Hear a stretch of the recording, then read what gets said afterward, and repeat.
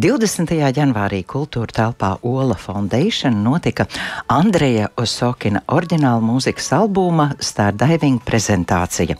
Unikāla iespēja pirmo reizi dzirdēt pianistu atskaņojumu savu mūziku.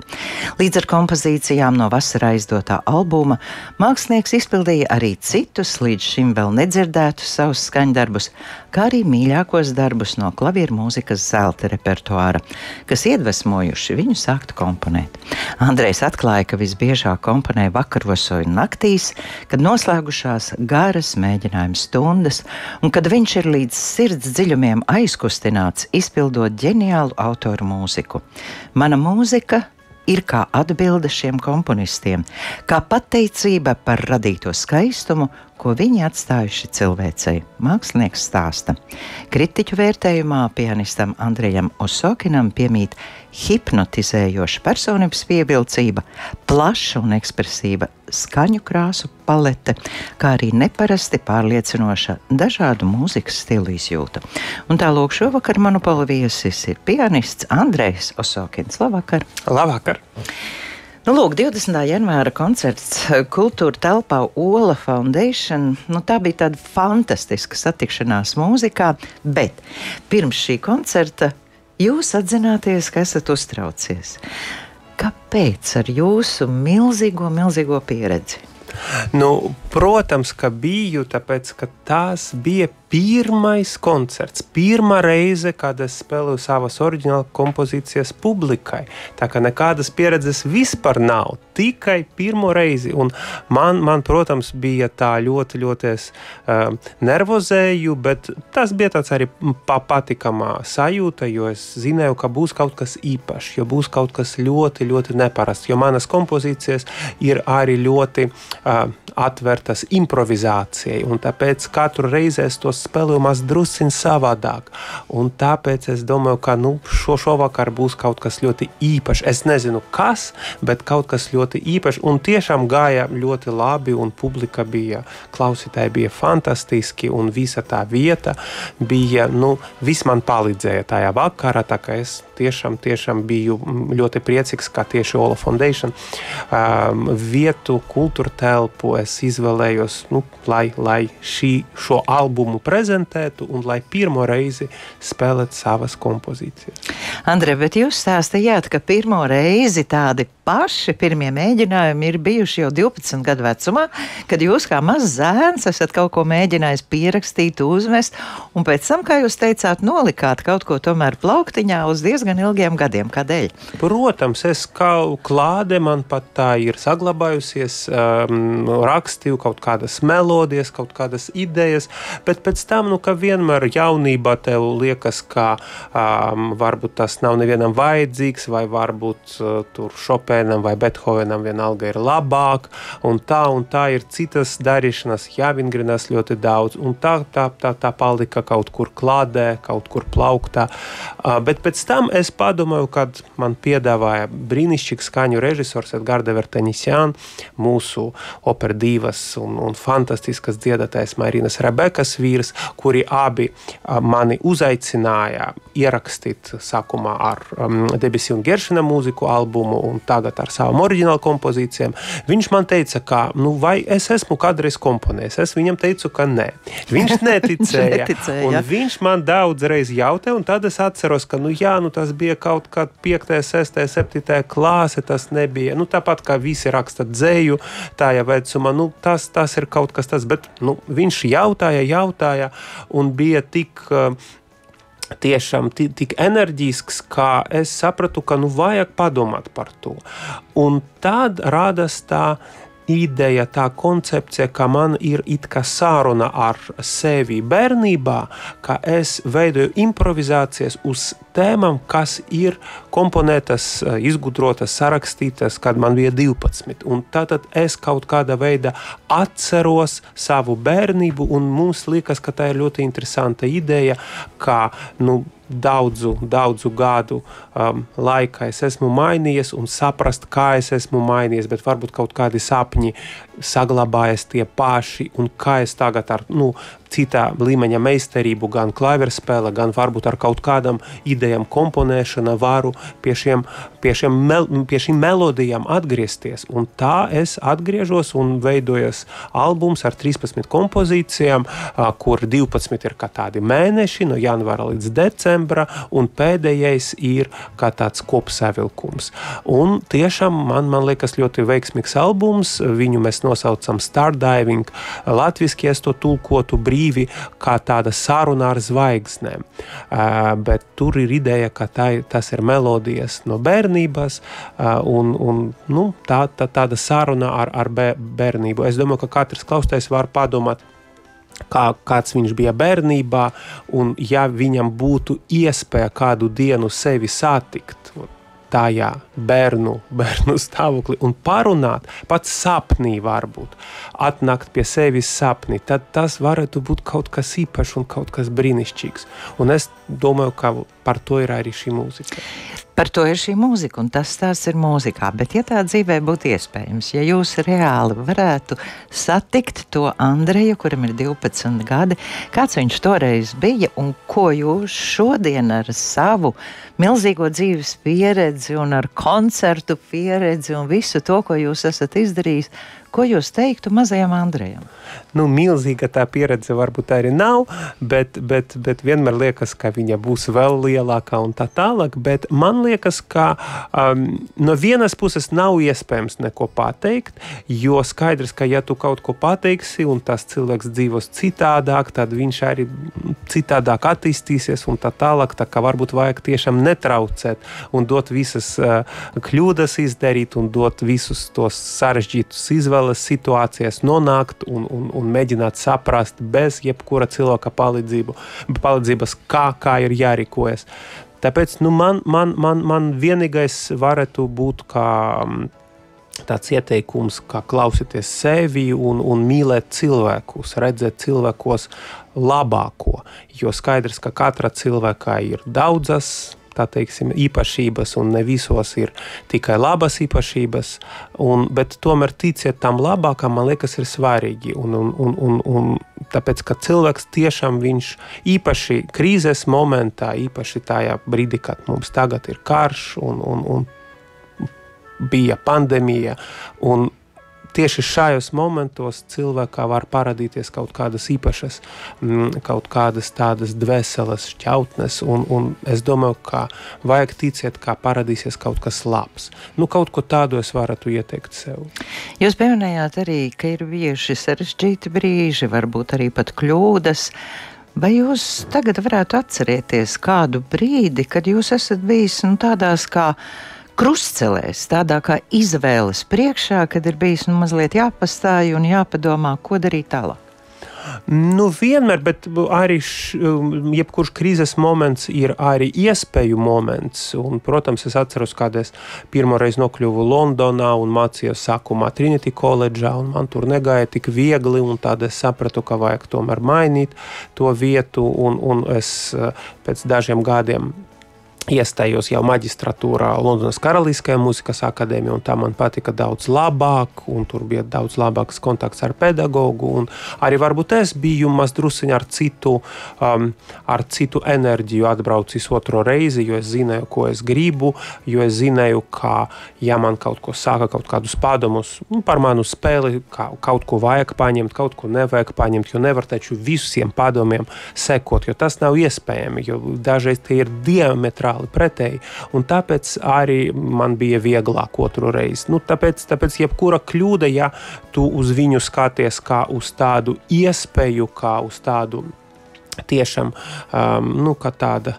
Uh, kaut ko iemācīties, iespēja, tad, tad, tad tā ir vajadzīga. Nu, par to Londonu es varu atcerēties, vai kaut kādi konkursi. Daži bija ne īpaši veiksmīgi, daži bija ļoti veiksmīgi. Tāpēc arī, arī tu nevari neko izdzēst un domāt, ka, ja tu izdzēsīsi visas sliktākos momentus, tad, protams, visi tie labākie paliks. Varbūt tu arī viņus nesajutīsi, kā viņi ir tiešām tā, tie laimes brīži. Tāpēc, tāpēc es, es tā neko ne, nemainītu. Nu, jūs sakāt, ka ir bijuši arī padomi diametrāli pretēji, bet uh, mākslinieks, eh, ja viņš grib kļūt īsts mākslinieks, viņš jau nevar un nedrīkst eh, nevienu tā absolūti kopēt, viņš var tikai iedvesmoties. Nu, es, ja es jums tagad jautātu kādus pāris vārdus nosaukt, kas jums pirmais nāk prātā? Cilvēki, varbūt tiešām mākslinieki vai pianisti vai kādi citi mūziķi, no kuriem jūs esat iedvesmojies? Nu, nu, ļoti daudziem, bet, ja runāt par padomiem, protams, man patika tā, tāds salīdzinājums, ka katrs jauns mākslinieks ir kā bite, un, un, un viņš vai viņa ar, ar vairākiem ziediem, un, bet, bet, bet, bet, bet veido savu, savu īpašu medu. Nevis tā, ka tu, tu viena zieda paliki, un tur, tur tu, tu, tu dzīvo tikai, tikai viena kaut kāda stilistika, piemēram, vai tu spēlē tikai vienu kaut kādu komponistu, vai tu mācies tikai pie viena pedagoga pedagogu. Vajag tiešām, lai tu neesi kopija. Jūs pilnīgi pareizi teicat, lai tu veidotu savu oriģinālu valodu, savu oriģinālu tādu stilu, vai tu esi atskaņotājs mākslinieks, vai tu dari kaut ko citu, lai tu esi oriģināls, lai, jo nu, pasaulē viss ir bijis izņemot tevi. Tu esi unikāla kombinācija ar, ar visām savām īpašībām, tāpēc, protams, to vajag um, nu, at, nu, tiešām atklāt un, un meklēt un mēģināt sevi pilnveidot, lai tu esi sa, sava labākā versija. Tad, man liekas, viss sanāktu. Bet kādi, kādi varētu būt, nu, es domāju, ka katru reizi jebkurš liels mūziķis var tev iedvesmot gan no ierakstiem, gan no dzīvēm koncertiem. Bet kā tas ir? Pianistam arī ir kaut kāda ierobežojuma robežām. Nu, piemēram, dziedātājām, operas dziedātājām vienā vecumā viņas dzied tādu lomu, pēc tam 30 gadu un plus viņas dzied citu lomu. Vai arī pianistam ir kaut kādas iespējas, kaut kādi? Nu... Nu, protams, pianistam ir pavisam citādāk, jo uh, tomēr balss krāsa mainas, un tāpēc tiešām ir, ir, ir dažādi autori, dažāda vecuma, dažāda, teikt, balss attīstības stadijā, bet, uh, kad tu spēlē klaveres, pēc būtības tu vari nospēlēt jebkuru skaņdarbu, nu, var vismaz sākt mācīties jebkuru skaņdarbu. Nav tā, ka tev tur roka izaugs, kad tev būs 50 vai. Bet, protams, ir komponisti kuru, kuru spēlēt vajag nu, tādu gudrību un, un tādu briedumu, nu, piemēram, Brāmsa mūzika vai Vēlenes Bethovena sonātes, vai arī dažreiz Mocards vai Šopens arī prasa briedumu, lai tās nav tikai tādas uh, spilgtas emocijas, lai ir arī tāda gudrība un arī viss ir sabalansēts un lai nav tikai Dionīsa, bet arī Apolona tāds pieskariens uh, izpildījumam. Es domāju, ka nu, katram ļoti individuāli, bet man patīk klaveres tieši, ka viņš dod iespēju tiešām izvēlēties savu repertuāru. Tu vari spēlēt virtuozu mūziku, vai tu vari spēlēt kameru mūziku, intīmu mūziku, kur vispār ir četras ar pus notis, bet tur arī tu vari to nospēlēt ļoti, ļoti dziļi un skaisti. Tā kā tur tev ir tik liela izvēle, ka nu, man liekas, ka tā ir mūsu ļoti, ļoti brīnišķīga iespēja mm, dzīvot ar šo instrumentu. Šopēnu jūs pieminējāt, Šopēns arī skanēja koncertā, un pie tam ļoti dažāds Šopēns var būt tajos savos agrīnajos darbos, un pēc tam vēl vēlāk, kad viņam jau arī bija kāda nu, tāda dzīves pieredze. Kā šādi skaņdarbi ir jāatskaņo jūsu? Um, es ļoti um, savādāk sāku spēlēt Šopenu tieši 22. gada, kad sākās karš, jo kaut kā man bija ļoti svarīgi um, viņu saprast tieši kā poļu kultūras um, tādu izcilu komponistu un arī kā cilvēku, kas um, dzīves apstākļos bija spiests kļūt par imigra imigrantu, jo viņš bija Parīzē, koncertēja un uzzināja par um, um, Krievijas, toreiz cariskas Krievijas uzbrukumu Varšavā, un viņš gribēja atgriezties, bet viņa draugi viņu atrunāja, teica, ka tas nav droši, un nu, ka vajag maz drusciņi pagaidīt, un tā gaidīšana viņa bija visu mūžu, tā viņš arī neatgriezās neatgriežas un dzīvoja skaistas vietas, gan Londonā, gan, protams, Pārīzē un arī Palma de Mallorca. Bet tomēr vienmēr pēc viņa mūzikas mēs varam saprast, cik daudz, kā, kādas ilgas un kāda mīlestība viņam bija pret Poliju, un cik daudz tautas mūzikas un tautas dējas, tas mazurkas, polonēzes, poļu cinitāju slavināšana, ka, kas vienmēr viņam bija, viņa mūzika, cik tas bija svarīgi, cik tā bija nu, šausmīgi, ārkārtīgi svarīga tēma, un tāpēc es sāku spēlēt Šopenu ļoti daudz, un, protams, spēlēju viņa domino reitīdi, kura bija tieši uzrakstīta, kad viņš uzzināja par poļu varoņu um, teiksim, um, zaudējumu tajā brīdī, mm, kad bija um, uzbrukums, Krievu uzbrukums Varšavai. Un tiešām, tiešām tas tik, tik sasaistās ar mūsu 22. gadu un arī ar, ar, ar šodienu, kā, kā ir karš Ukraina un kā tauta cīnās par savu dzīvību, par savu eksistenci, par savu kultūru, par savu valodu. Un man liekas, ka tas ir šausmīgi svarīgi parādīt, ka tas nav tikai šodien, ka tas bija arī agrāk, un kā tagad mēs neatceramies, kādi tur ģenerāli vai vēl kādi bija cilvēki, kas sāka to uzbrukumu, bet mēs atceramies Šopēna mūziku. Un man liekas, ka skaistums uzvarēs, ka tautas gars uzvarēs un ka viņš dzīvos arī mūžībā. Man liekas, visas šīs idejas, spēlējot Šopēnu un arī veidot festivālu, kas bija veltīts Ukrainai, tas viss bija ļoti, ļoti svarīgi man visa gada garumā. Es domāju, Andrej, ar jūsu iespējām un milzīgo talantu jūs varētu arī atrast kādu varbūt bagātāku valsti un kādu apmešanās vietu. Visu pasauli arī droši vien esat apceļojis. Vai jums nekad nav bijusi doma? Braukt prom no Latvijas. Nē, man ļoti patīk šeit. Man šeit ir mana publika, mani klausītāji, skatītāji, mani draugi, ģimene. Nu, man liekas, ka, ka nu, tā, tā ir tāda bagātība. Īpaši tagad mēs to varam saprast, kāda ir bagātība būt kopā ar, ar saviem. Tā kā nē, nē, nē, noteikti tieši otrādi man gribas to, ko es māku, to, ko es varu davināt cilvēkiem, kas ir blakus. Tagad mūsu sarunā iesaistīsies kāds cilvēks. Tas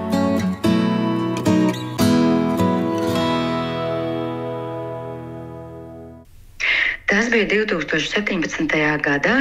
Tas bija ļoti interesanti, jo man kopš bērnības bija sapnis būt ikdienā saistītai ar klavieru mūziku. Es pati savulaik mēģināju nedaudz spēlēt klavierus, bet man nekas īsti neizdevās. Un, bet tas sapnis palika, un tagad tas sapnis ir piepildījies. Es ikdienā savā darba laikā varu klausīties brīnišķīgus koncertus. Vispilgtāk man atmiņā palicis eh, tas, cik lielā tempā un jaudīgi mēs pagājušā gadā trietā ar Andreju un Katrīnu Gupolo norganizējām Osokina brīvības festivālu Ukrainai. Tas fantastiskākais bija tas, ka no mazas idejas par atbalstu festivālu Ukrainai, milzīgās dažādu mākslinieku un dažādu uzņēmumu atsaucības dēļ, šīs festivāls pārvērtās par grandiozu pasākumu ar brīnišķīgu komandu. Tas bija vienkārši kā tāds milzīgs virpulis, kas aizrāva mūs pašus līdzi. Un rezultātā festivāls bija ar desmit koncertiem, neskaitāmiem māksliniekiem. Mums bija ļoti, ļoti daudz brīnišķīgi palīgi, eh, kas visu palīdzēja īstenot. Palika tāda spēcīga apziņa, ka mēs kā komanda esam tāds milzīgs spēks un varam kopā īstenot jebko. Tā kā tas bija tas, manuprāt, tas grandiozākais, kas nu, tiešām, manuprāt, paliks uz visu mūžu atmiņā. Kas man ārkārtīgi patīk, ir tas, ka Andrejs ir ne tikai meistarīgs pianists, bet arī brīnišķīgs stāstnieks, kas uh, skaisti izpaužas koncertos, jo viņš aizrauja klausītājus ne tikai ar klavieru spēli, bet arī ar aizraujošiem stāstiem par skaņdarbiem, par komponistiem, par mūziku kopumā.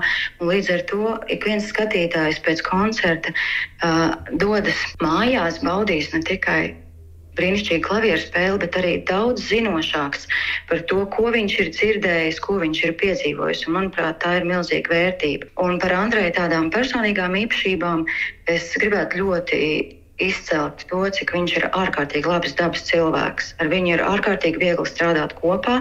Viņš ir ļoti darbspējīgs un atbildīgs. Uz viņu vienmēr var paļauties. Un līdz ar to, ja mēs kaut ko esam sarunājuši, es vienmēr esmu pilnīgi droša, ka viss būs, viss notiks. Un es esmu Andrejam par to ļoti pateicīga.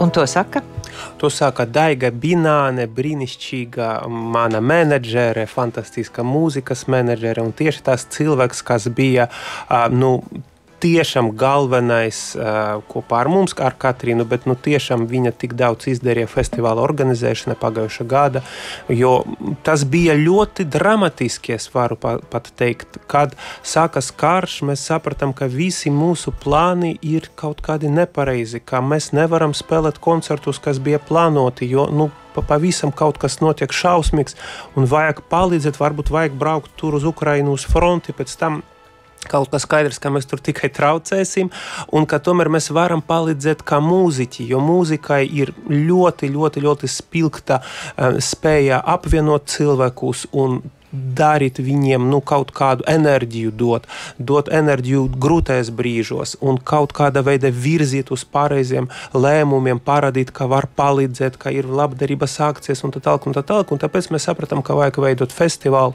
par kuru Daiga arī brīnišķīgi pastāstīja. Un tas festivāls mani fascinē ar to, cik daudz cilvēki gribēja mums palīdzēt, cik brīnišķīgi ir tie mūziķi, kuri uzstājas un veltīja savu laiku, uzstāties arī kopā ar Ukraiņu bēgļiem uz skatuves. Tas bija fantastiski. Un arī cik labi ir tie cilvēki, kuri Katrs gribēja kaut maz drusciņu palīdzēt, jo tiešām mēs dažreiz nezinām, cik liela rezerve mums ir iekšā.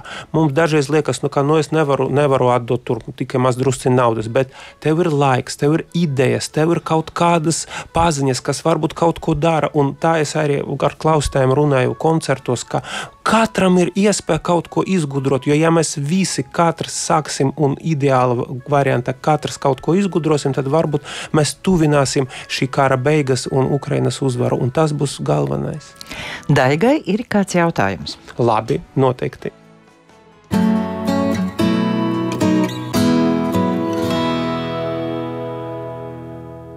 Jautājums ir saistīts ar ceļošanu, jo šobrīd mēs ar ģimeni apceļojam Izrēlu. Tādēļ jautājums ir Andrejam par to, vai viņam ir kāda īpaša zeme vai valsts, ko viņš no sirds vēlētos apskatīt, un varbūt vēl nav pagūst to izdarīt.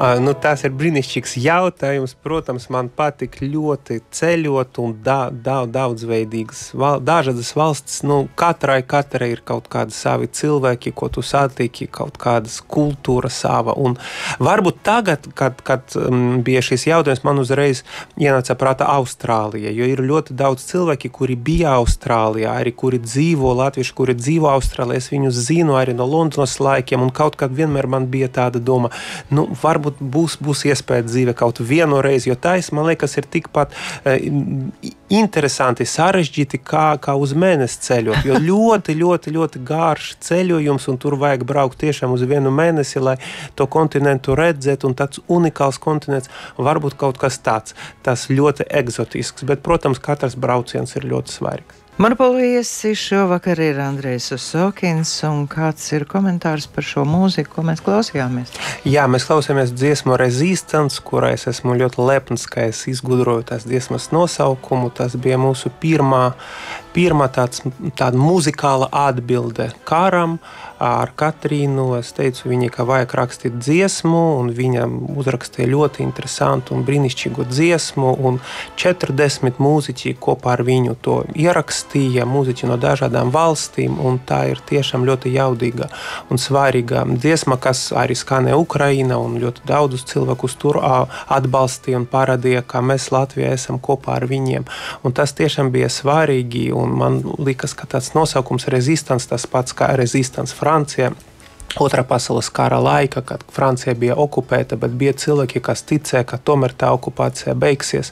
Es domāju, ka tas, tas, tas ļoti, ļoti, ļoti spēcīgs, kā, mm, spēcīgs pierādījums, ka mūzika ir ļoti spilgts ierocis, kas arī var darīt ļoti daudz. Mums ir vēl kāds runātājs.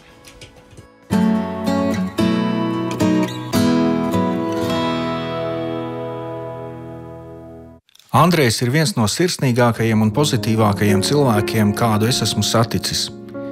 Bija liels prieks uzstāties viņa organizētajos brīvības festivāla koncertos un arī viņa koncertos atbalstam Ukrainai. Bija gandarījums, ka Andrejs viesojās arī manos Tiguļkalnu koncertos Talsos, un skatoties Andreju un vērojot viņu pie klavierēm, vienmēr nodomāju, redz, kur ir viens īsts mākslinieks Andrei, lai piepildās mums mūsu cerības.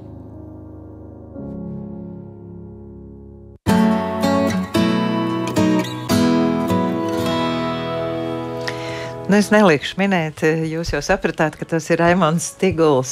Noteikti, un tie ir īsta mākslinieka vārdi, un arī Raimons ir īsts mākslinieks, īsts cilvēks ar tādu dvēseli un tādu prasmi atrast ļoti vienkāršus vārdus, un arī tādu mūziku, kura var iekarot visu pasauli un kura ir saprotama jebkuram cilvēkam, un kura tiešām runā sirds ar sirdi. Man liekas, ka tas ir viss vis sarežģītākais, un viņam tas izdodas. Tāpēc es vienmēr esmu ļoti, ļoti priecīgs, kad ir iespēja ar viņu sadarboties, dzirdēt viņa koncertus, vai piedalīties, vai kad viņš pats spēlē. Vēl kāds cilvēks gribēs runāt.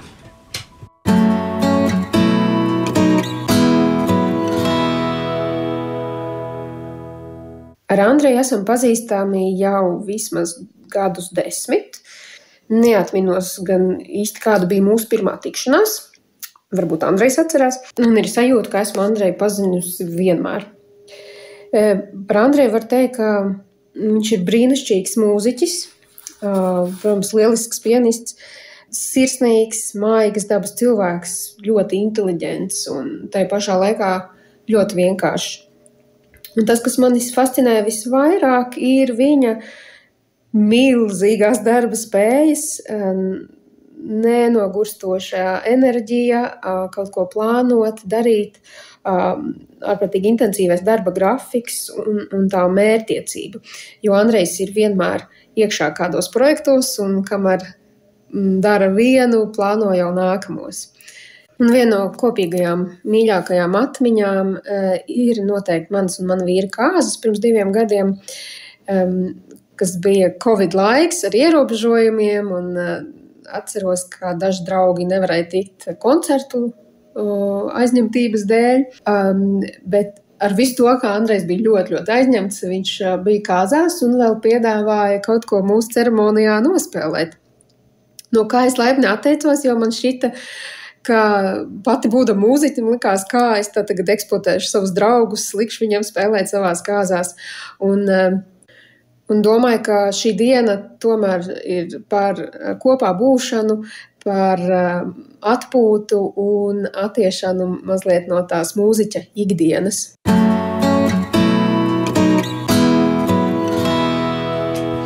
Vai jūs pazināt?